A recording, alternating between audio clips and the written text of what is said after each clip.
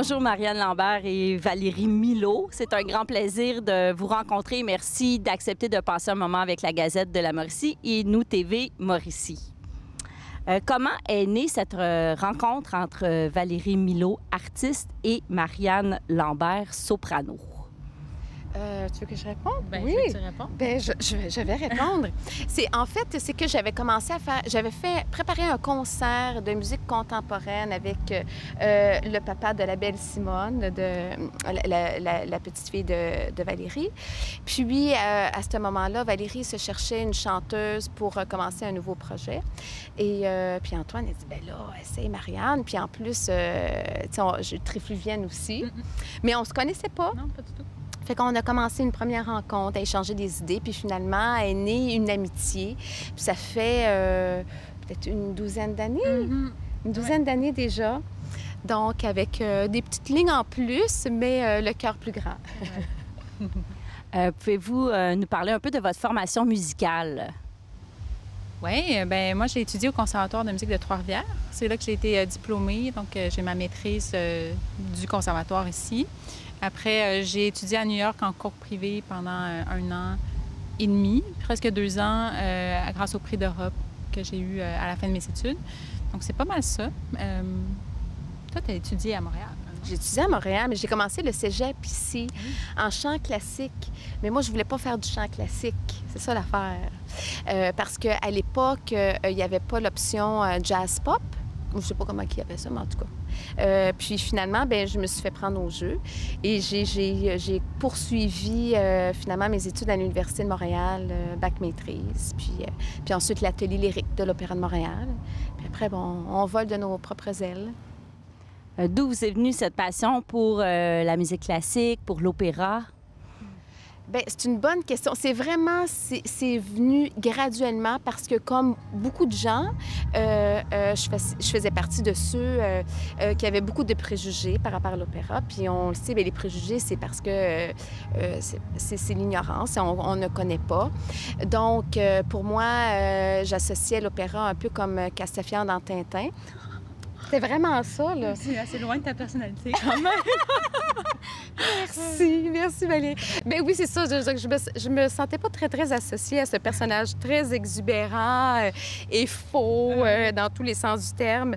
Euh, puis, euh, voilà, donc euh, je me sentais pas du tout associée à ça. J'étais plus, je, commençais à explorer le jazz avec des amis au cégep, tout ça. Puis euh, ma professeure, c'est Cécile Vallée, qui est décédée maintenant, vu le potentiel en moi, puis elle essayait de, me convaincre. Elle me passait des VHS de Carmen, de Bizet, Turandot, de Puccini. Mais c'est tous des rôles que je peux pas faire parce que ça prend des très, très, très grosses voix. Moi, j'ai une, une voix légère.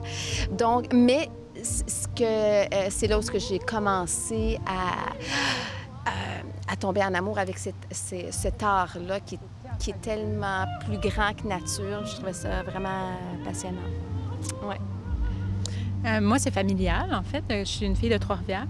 Puis, euh, mon père n'était pas musicien de formation, mais il était, euh, en fait, de, carrière, mais de formation, oui, certainement. Euh, passionné de musique, chez nous, on écoutait toujours de la musique classique. Puis, nos parents euh, nous ont abonnés en famille à l'Orchestre symphonique de Trois-Rivières. Donc, j'en ai vu des concerts de musique classique. On allait voir Casse-Noisette. J'ai baigné là-dedans beaucoup.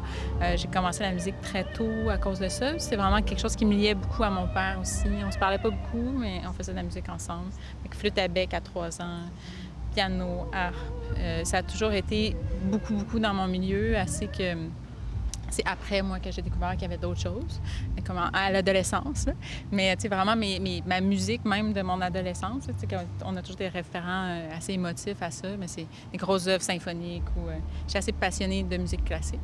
Euh, mais avec le temps, après, ben, j'ai découvert le rock progressif, le jazz, toutes sortes d'autres musiques. J'ai écouté du heavy metal pendant un bout de temps. Je devais me chercher beaucoup, mais il y a- des points communs quand même entre le métal et le classique. C'est assez intéressant. Donc, euh, c'est ça. J'ai ouvert mes horizons après, mais c'est comme si moi, j'étais née là-dedans. Puis, en fait, on a comme des parcours un peu inverses. Oui. On est tellement complémentaires.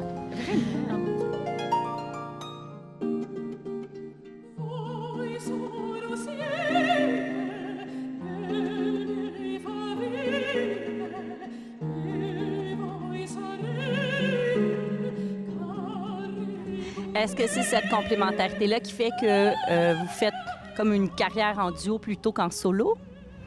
Bien, en fait, on fait les deux. Euh, Valérie fait, euh, vraiment a développé une très grande carrière euh, comme soliste, harpiste. Il n'y en a pas beaucoup d'harpistes qui font cette carrière-là comme solo. Puis moi aussi. Donc, on a toutes les deux vraiment nos carrières séparément comme, comme solistes. Puis on a développé aussi ce duo-là qui fonctionne super bien, justement parce qu'on est complémentaires. On se comprend bien, puis on n'est pas compliqué. La, vie est belle, puis on, aime ça, on aime ça les choses, simples. Euh, donc, mais c'est vrai que notre duo, il y a quelque chose de spécial. quelque- Puis tu sais, aussi c'est que Valérie et moi, on, porte à cœur l'importance de démocratiser la musique classique, de rendre ça accessible. Je pense que notre approche, la façon comment on, aborde la musique classique fait que euh, euh, ça touche énormément les, les- les gens. Puis le fait qu'on soit authentique aussi, qu'on soit simple, euh, euh, simplifie aussi cette, cette relation-là avec, avec le public. Donc, je pense que c'est pour ça que ce duo-là fait, fait de la route quand même. Ouais. Ouais. Ça fait de la route, oui.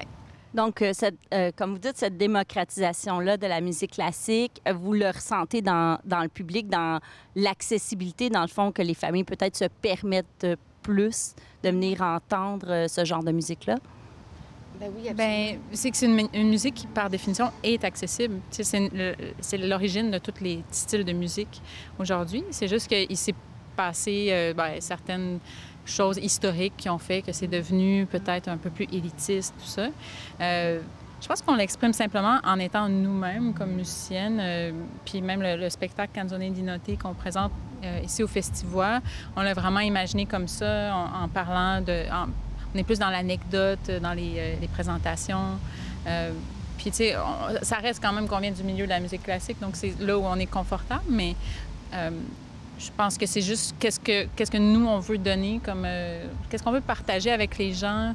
On le partage d'une manière simple, euh, le plus authentique qu'on peut. On, on l'exprime... Ça, ça s'exprime juste simplement. Tu sais, je pense qu'il ne faut pas se casser la tête trop, trop, puis... euh, euh, voilà. Puis ce qu'on dit souvent au public, c'est que euh, ce qui est super important de comprendre, c'est qu'on n'a pas besoin d'avoir des connaissances en musique classique. On n'a pas besoin de connaître les œuvres. Puis avec, euh, avec euh, le spectacle, entre autres, Canzone, il y a beaucoup d'œuvres qui sont, qui sont chantées en italien. Mais euh, même si la langue euh, euh, est étrangère, il n'est pas en français, la musique est tellement, est tellement grandiose que la musique exprime elle-même les émotions. Donc, on n'a pas besoin de comprendre toutes les structures de phrases. Moi, oui, là, c'est sûr qu'il faut, faut que j'exprime. C'est notre job là, de raconter l'histoire. Mais, euh, mais le public, le travail du public, c'est juste de recevoir, d'arri- d'arriver avec les, les- les oreilles ouvertes, l'esprit ouvert, le cœur ouvert, puis juste de recevoir. Puis finalement, les, gens euh, euh, sont surpris à quel point que ça, les touche, ça les, ça les transporte. Euh, comment, se fait justement le choix des pièces que vous sélectionnez pour vos spectacles ou qu'est-ce qui vous inspire pour, pour pouvoir les choisir? C'est une bonne question. Oui. Mais c'est sûr, c'est différent pour euh, chacun des concerts. Des fois, c'est un sujet qui, qui nous touche particulièrement, puis on, on essaie de trouver du répertoire qui tourne autour de ce sujet-là. Euh, pour euh, le concert Canzoni di Notte, en fait, après avoir échangé, questionné plusieurs de mes collègues qui, qui me connaissaient bien, parce qu'en fait, parce qu'il y a le disque, ça a commencé avec le disque Canzoni di Notte, puis ensuite est né le spectacle. Euh, ça faisait longtemps qu'on voulait faire un disque ensemble. Donc, je voulais euh, qu'on on produise un disque qui, euh, qui nous ressemblait, mais qui était aussi confortable, puis qui mettait ma voix en valeur aussi. Puis le bel canto me va particulièrement aussi très, très bien. Donc, on, est allé finalement, on a exploré tout- tout, toutes sortes de, de répertoires qui pouvaient se faire aussi très bien à la harpe. Puis finalement, pour se rendre compte qu'il y avait un leitmotiv, il y avait vraiment un lien pour euh, chaque, chacune des pièces. Donc, euh, c'est différent pour chacun des projets. Je sais pas qu'est-ce que qu'est-ce que tu en penses? Si. on, on s'en parle souvent, notre expérience d'artiste est super différente parce que moi, mon instrument est externe à mon corps, puis elle est à l'intérieur de son corps. Donc, c'est sûr qu'au niveau des pièces qu'on va choisir dans un spectacle, mais elle, elle va penser toujours à l'énergie qu'elle va avoir d'une pièce à l'autre. Euh, quand on joue d'un instrument de musique, ben c'est sûr qu'il y a l'endurance, mais euh, dans un cas comme ça, où je suis plus euh, euh, en mode accompagnement, ça se fait quand même assez bien. Donc, donc c'est ça. Je dirais que là, je suis peut-être plus en second plan. Après, ben, on va mettre nos idées ensemble quand c'est au niveau de la mise en scène et qu'est-ce qu'on veut exprimer, tout ça.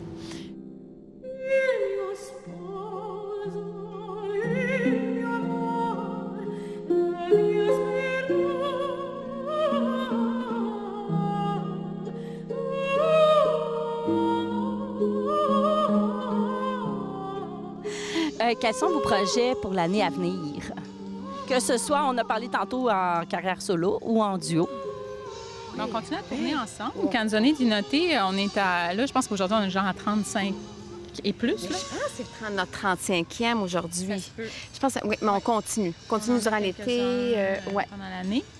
Euh, moi, je travaille sur mon prochain album solo. Euh, donc, tu sais, je vais être beaucoup dans la continuité de projet sur la route, mais beaucoup aussi en, en mode euh, pratique personnelle, puis euh, tout ça. Mais Marianne aussi est dans un gros projet de production qui va arriver plus vite que le mien.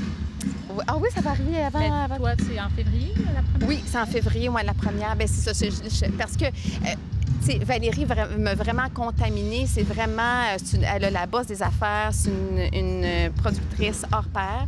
Donc, j'ai développé ça, ce côté-là que j'aime beaucoup, que j'aime beaucoup la production. Puis là, euh, je commence une nouvelle production qui s'appelle Mères intérieures, qui va parler du deuil périnatal.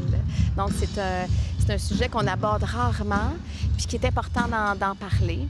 Donc ça, ça me prend beaucoup en ce moment. Euh, euh, mais sinon, j'ai plein de super concerts durant toute l'année avec des orchestres. Euh, là, je travaille du Vivaldi cet été. C'est difficile, mais c'est super excitant. mais c'est ça, des, plein, plein, plein de beaux... des tournées de Messi. Ah, on a fait un beau concert de Noël ensemble aussi. Oui! En fait, un concert qui est capté par CBC Radio-Canada, qui va être diffusé en Europe aussi. Oui, c'est pour euh, Euroradio. C'est euh, chaque euh, pays fait produire un concert, puis après, ben, il y a des radios européennes qui peuvent la diffuser. Donc, c'est ça. Je me suis entourée de mes meilleures amies, donc Marianne, mon ami Stéphane Tétrault, puis on va avoir aussi de la trompette. si les gens veulent vous découvrir ou vous suivre, sur quel site web ils peuvent le faire et sur quelle plateforme? Ben, c'est nos noms.com, hein, mariannelambert.com, Exact. On est sur Facebook, euh, Instagram parfois. Oui. Oui, oui, euh, sur les réseaux sociaux. En, en, ligne, on se trouve assez facilement. Oui.